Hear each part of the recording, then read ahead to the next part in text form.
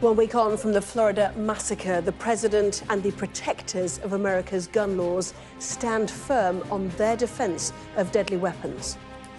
Evil walks among us, and God help us if we don't harden our schools and protect our kids.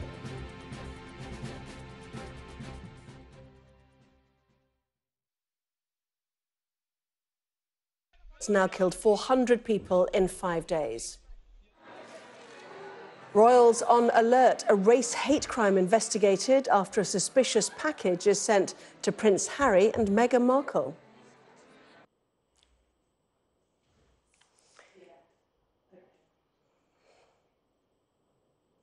Well, May and her ministers in marathon talks. The cabinet gathers at the PM's country retreat as Europe delivers a new blow to the UK's pull-out plan.